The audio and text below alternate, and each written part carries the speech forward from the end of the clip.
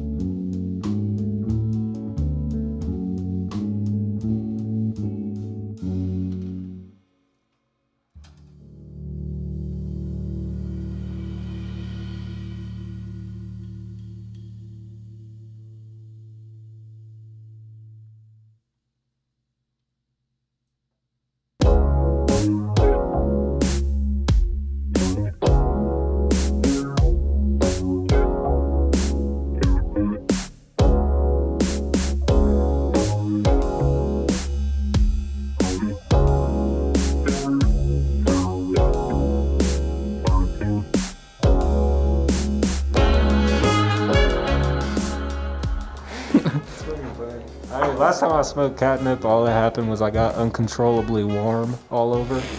oh no! I was like warm as hell, sweating, taking off my clothes. Like the fuck is? I was alone too. Actually, I don't want to talk about it.